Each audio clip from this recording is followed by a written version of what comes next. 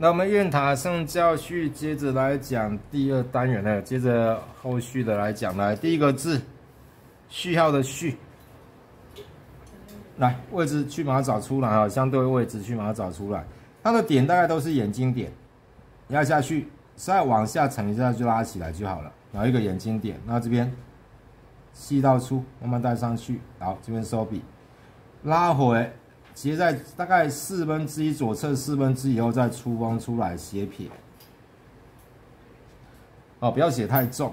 那这边是撇起来以后，这边是一个逆笔下来啊，这样子上来后逆笔过来压，再拉上去，然后再撇短撇下来。那中心压点，点的正下方哦，点的正下方。那点完以后直接再带过来，上去。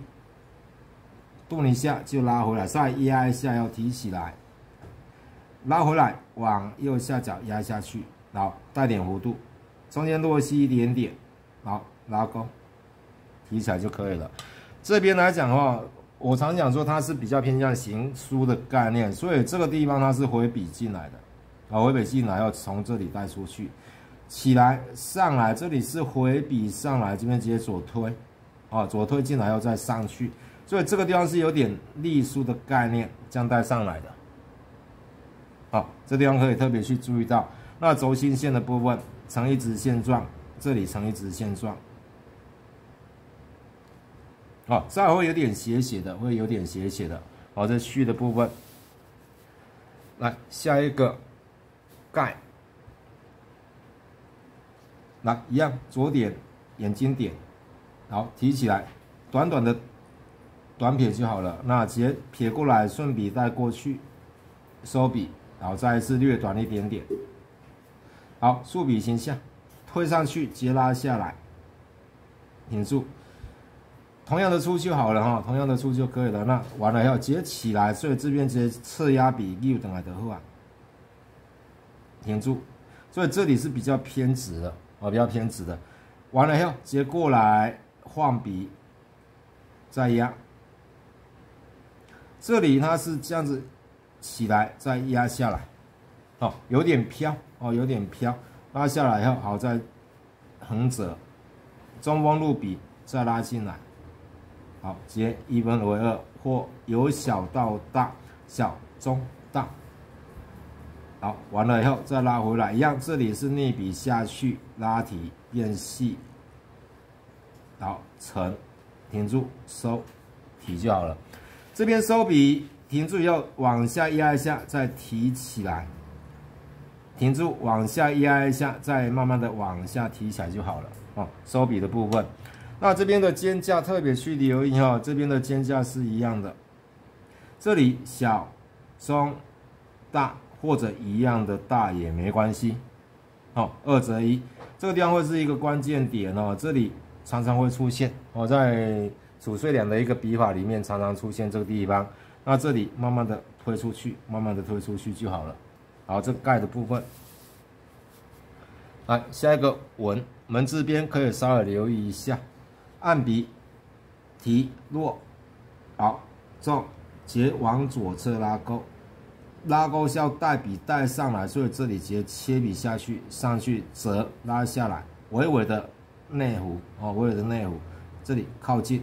好，压推上去，顺笔乱贴压下来，再上去，上去完后，好，这里接下笔往内刮，这里这样子，这里就这样子相向，好，停住以后，这里上去，压提一点点往外带，停住，接往上拉钩起来就好了，没有做任何动作，这边左右肩架把它做好。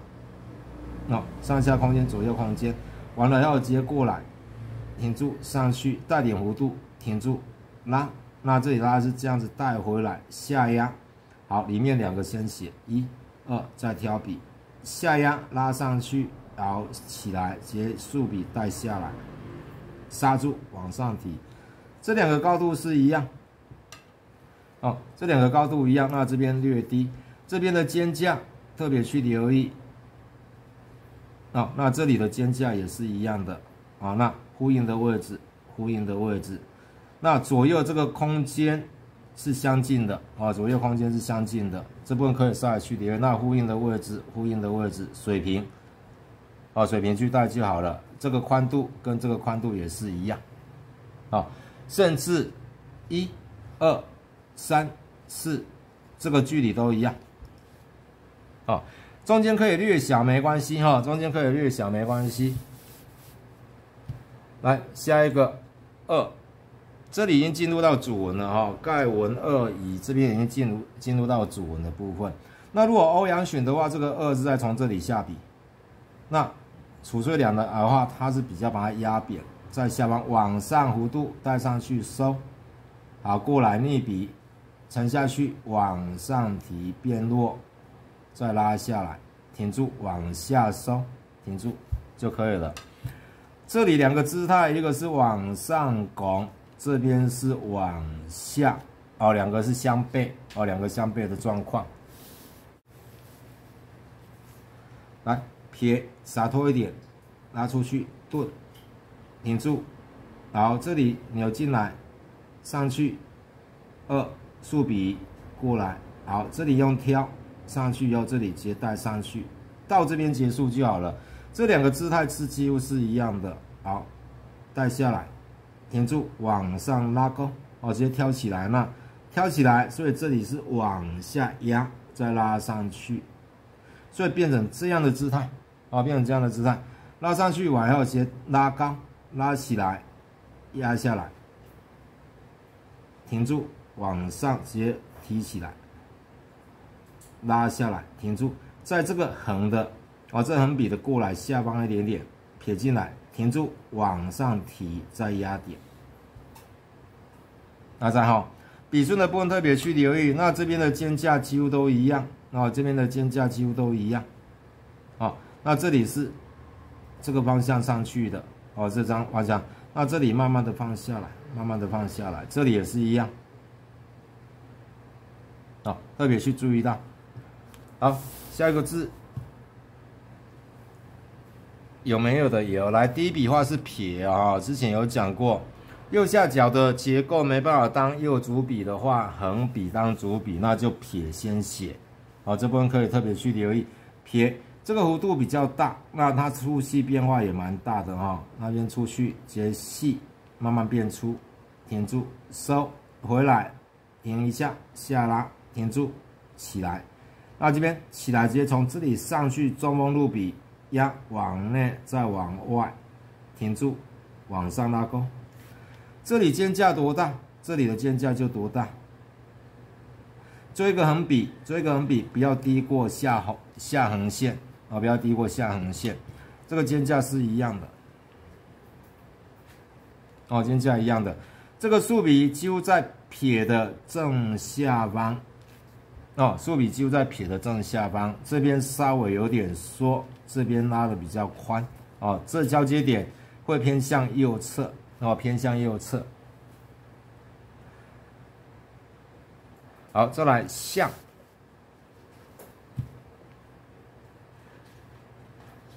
来大象的象头比较重哦，那身体的部分写的比较小一点点，这部分特别去注意到，这边压笔直接拉出去拉长，好。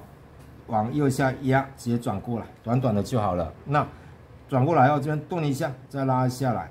好，这里落停住，折回来。好，里面要不要去连接无所谓哈，跟横笔要不要连接无所谓。下来后，不是从这里开始下来，直接从这里带上去，停住。好，直接带下来，停住，起来，往右压，跟它齐平以后，带弧度细到粗。停住，往上拉钩，这个地方不要偏向右侧，在轴心的左侧，啊，那勾起来后，这边多撇的状况之下，不要全部都斜撇啊，所以它第一个这个地方它是用钝的方式，后面两个才斜撇。好，这边拉过来，停住，带进来直接压下去，停一下，拉，蜡笔稍微重一点。中心轴心的部分带下来，然后带下来。那这个往左都可以，但是不要往右去带。勾的地方不要在右侧勾，宁可在左侧哈，因为右如果再往左侧，我这里可以下压去稳定它，蜡笔可以下压去稳定。那你我这边往右侧勾的话，那这边它会往右侧倒，这边没有地方支撑，懂我意思吗？哦，比方说我们来写一个哈，其他条件不变。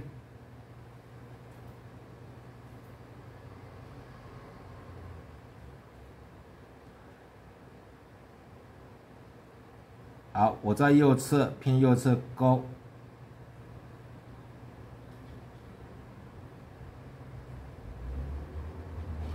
有没有发现？感觉往右往左侧倒的感觉，有没有感觉？哦，所以这个因为我们的轴心在这边哦，它偏左侧，哦，它的钩在我们的重心的右侧，那它的重心会往左倒。那这里我蜡笔压下来压不住，要从这里去支撑，那这边没办法去支撑，这样懂吗？啊，所以这个地方特别去留意钩的部分，除非说我们有一个我们在讲欧卡的时候，可以在左在右侧勾，但是这个勾是要做横勾，要变成这样子过来平勾的部分，哦，这欧卡可以这么去做，那储税两它并没有这样的概念哦，哦，所以这个地方可以特别去注意到。来下一个字，弦，一样啊。这边一个侧笔下来，所以这里的入笔角度比较不一样。往左，再拉下来。好，那这边一样，中锋入笔起来压，带进来，里面不连接哈。那这边过来，那里面的凹落一点点，好，一样带进来，挑上去。那这边点不要拉下来。一个小三角形就好了。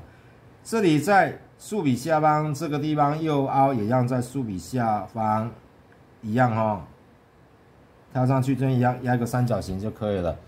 下面应该是四点而已，它写五点，有没有？好，等分空间二三点在它的下方，四点在这边，第五点在这里的正下方，这个肩架也是一样。好。那这边从它不要跟它起品略低一点点，细到粗停住收回来压撇回来，因为我们这样带过去要回来，这边是压过去再扭回来，所以这里会有点扭的感觉。好，过来要直接下压红线就好了，不，我不要超过红线。那再过去顿一样粗的变细的，低一点点，里面肩架从跟这边是一样的，好，那这边再带出来。停住，这个接点偏右侧一点点，过去，那这边直接压笔重一点点。右点的部分哦，跟蜡笔的概念一样，会比较重。肩架是一样的，哦，那这个距离也是一样的，对称的位置，这比例也是一样。斜的，斜的跟这个横笔是平行。这里的交接跟这里的交接连起来，跟这个挑笔连接起来造成的横线跟上面的横笔是平行的。阿张哈，把这两笔嘛，赶快都连起来，跟交接平行啊。好，这个地方也是一样，哦，也是一样，特别去注意到。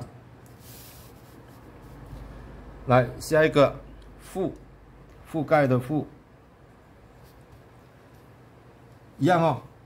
往上弧度上去只是比较短小而已，那这边往左带，好，停上去，折笔下来，停住，不用做收笔，比较这边会比较软一点点，这边应该是一个 C，怕它省略了变成一个好像雨字头的感觉，啊，一个雨字头的感觉，那这边从这个位置带下来去写撇，停顿，往上再压，好，撇出去。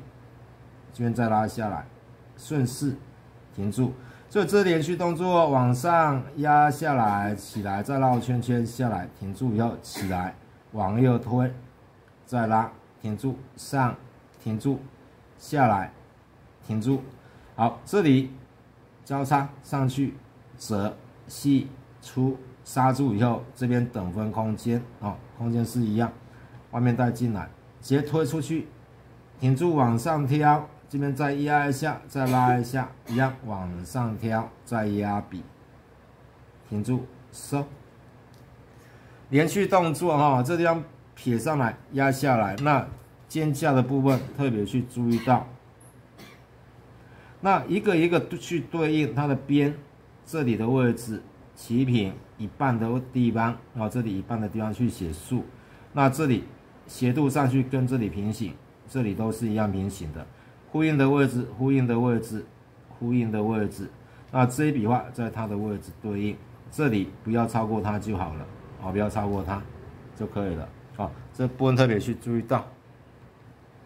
来，载承载的载，笔画很多，左边先完成，再完成右边。那有些人会先把歌完成哦，会先把图。完成以后就把歌完成再写左下角的车，但我不建议。行书可以，行草书可以这么去做了，那楷书来讲不建议啊。这边要往上拱，好，这里带回来，压下来，直接拉过来，粗细，好，这里沉下来，停住。那有些就直接写歌钩了哈，那我还是比较偏向正常的一个概念。那这边一样换笔下来。带上去，折笔过来，不连接，好，带出来，压，拉，停住，往上挑，挑起来，所以这里是鼓起来，但它是它是没有明显挑起来，我们是把它明显挑起来，然后上来了，起来了，那这边带过来，要再再带这个竖笔，刹住，不要太长，好，刹住以后再拉高，跟它齐平，带上来，压，拉下来，停一下。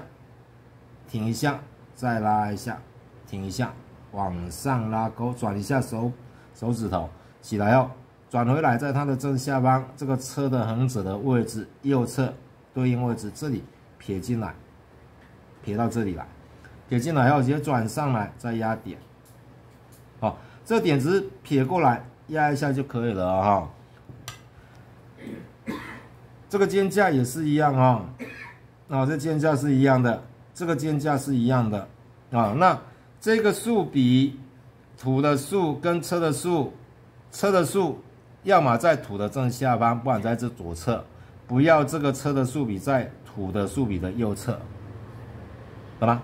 在这个黑线的左侧都可以，但不要在右侧啊，不要在右侧。那这里不要拉得太低哈，因为主笔还是在这边。啊，下方主笔还是在这边。啊，这窄的部分。那这边是走走三段哦，交接笔这边停一下，待会这边有撇的交接，停一下再拉下来，啊，所以这地方特别去留对应的位置，去写的对应位置，这个地方也是关键，晃再带下来，啊，晃再带下来，好，以前的以。这个竖笔一样哦，稍微拖一下，好，再带下来，那这边接下来。往下压，往上一点钟方向拉挑，哦，这个挑是很洒脱起来，再往这边靠，这里刚好一个斜面，就沿着这个斜面拉点下来就可以了，拉点过来后直接带过来，停一下，再拉进去，好，往右下角去带，往左提，再拉起来，所以这里有点方笔的感觉。那这个距离拉得很开哦，哦，主要距离拉得很开，这是一个斜面上去啊，一个斜面上去，这里也是一个斜面上去，所以你如果把这两个顶天的位置跟两个立地的位置框起来的话，是平行的，啊，是平行的，这两条虚线是平行的，啊，这部分特别去留意一下。那这个地方结构把它记住，我们写笔的话。长就大概就这个结构，只是这里拉的长短而已，懂吗？我们写笔左边这个的话，大概就用这个概念，只是这个挑笔我是往一点钟或往两点钟方向，长度不一样而已，啊，角度不大一样而已，这边可以稍微去留意。好，雁塔升教区，我们今天讲最后一个和人字头的部分去注意哈，它是粗细粗尖的变化。哦，粗细粗尖的变化，一开始下笔沉一点点，然后走的时候提，再压笔粗，再收尖，哦，我把它做的比较明显了，粗细粗尖，出去以后转回来，手腕摆荡，停住往下，慢慢转手腕，停住往右上提。所以这里为什么这里可以做的比较方？因为它是转动手腕去摆荡造成的啊，摆荡造成的啊，所以这地方特别去注意到。好，提完以后斜拉过来，这里往上翘的很高，这个斜度仰角做的很大，拉回。切笔上挑，压笔短撇，然后直接这边切笔下来，拉下来就好了。那这边一样中锋入笔，停住，然后折笔再拉进来，提笔收，这边直接往右下压，往右下提。这里的距离特别距离而已，这里的距离是一样的。那这是一个斜面下来，这里也是一个斜面下来，大家记得，这里还是维持平行，但是这一个是往下。我们在写除税梁的斜口的部分呢，做一个短横的部分，它不会跟上面的横笔平行，它往下垂，啊，因为它自己会做一个重心往下下压，啊，这部分特别去留意一下。好，我们今天雁塔圣教区第二单元讲到这边。